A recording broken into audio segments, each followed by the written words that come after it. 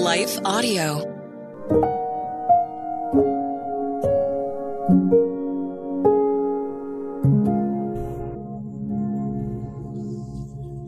Thank you for listening to Your Daily Prayer, a podcast dedicated to helping you find the words you need to connect with your Father in heaven. No matter what is going on in your life today, you can trust that God wants to hear from you. Right after this short word from our sponsor, we will pray through today's prayer together.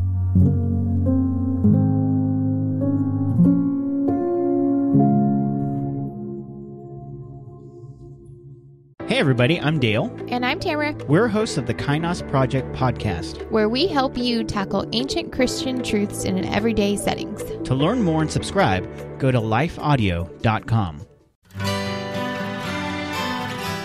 The Historical Jesus Podcast is the sweeping saga of the life and times of Galilean Jesus of Nazareth, as well as the faith, religion, and church founded to honor and disseminate his acts and teachings.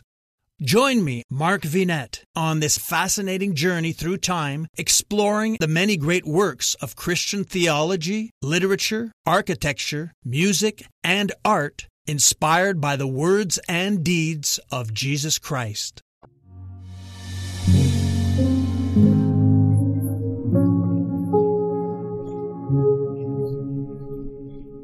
A prayer for today's need. Written by Kristine Brown. Read by Rochelle Alberti. Give us today our daily bread. Matthew 6, 11, NIV. I remember the first day I stepped outside to feel the warm sun on my face after being stuck inside the house for so long. I'd endured chemotherapy and radiation treatments, forcing me to stay indoors in the cold winter months and avoid any prolonged sun exposure as well. That's why this special day outdoors felt heavenly. Taking a stroll around the backyard had always been one of my favorite things, but I never realized how much I would appreciate waddling out in my bathrobe and slippers and turning my face toward the sun. I still had a long way to go toward healing, but that day gave me hope. When treatments began, I saw this mountainous obstacle before me. I couldn't fathom reaching the end. It seemed too big, too scary, and too impossible. So I had to simply ask God each day for the strength I needed for that day, then the next, then the next. By focusing only on what I needed for one day, I found peace for what was to come. Jesus knows our needs. He always has and always will. While teaching the crowds how to pray, Jesus said, Give us today our daily bread. I memorized that prayer as a little girl and have recited it many times, but I hadn't noticed the version which includes the word today. Sometimes we can get overwhelmed with the big picture. When we focus on the problem ahead, we can't see how things can possibly get better. Jesus understood our tendency toward fear in the face of insurmountable odds. He modeled for us how to ask God to help us through each day. Reading Jesus' words about daily bread makes me think of the Israelites journeying to the promised land. They questioned if they would have enough food to survive. They even considered turning back. Then the Lord said to Moses, I will rain down bread from heaven for you.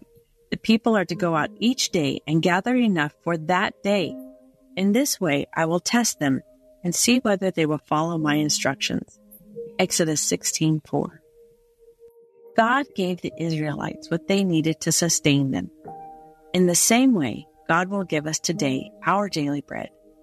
The New Living Translation puts it this way God will give us today the food we need. May we trust Him to be our sustaining source.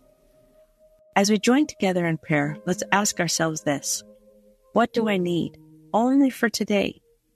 Is it energy to get out of bed, strength to face what's ahead, peace at work, or joy in a difficult situation? Maybe, like me, what you need is to feel the warmth of the sun on your face, reminding you of God's goodness, even in the worst circumstances. Whatever the need, let's bring it to our Heavenly Father and know that He is with us every day of our journey. Let's pray. Dear God, thank you for your presence today. As we come to you in prayer, let us feel the warmth of your love. We know that you hear us. You are a good and faithful God. Sometimes I get overwhelmed with the problems I'm facing. They are more than I can handle in my own strength. I want to pray and trust you to meet my needs, but I don't even know where to start. Lord, show me the next one thing. Give me what I need just today. You are my provider. Lord, give me this day my daily bread. Your word says in Matthew 6:34, Therefore do not worry about tomorrow, for tomorrow will worry about itself. Each day has enough trouble of its own. As I focus on you, help me rely on you to supply whatever I need right now. I will not be anxious about tomorrow because I can begin each day with you. Thank you for offering peace, hope, and joy to all who call upon you. In Jesus' name I pray. Amen. Your Daily Prayer is a production of Life Audio and Salem Media. If you liked what you heard today, please take a second to rate and review this podcast in your favorite podcast app so that more listeners like you can find the show. For more faith filled, inspirational podcasts, visit us at lifeaudio.com.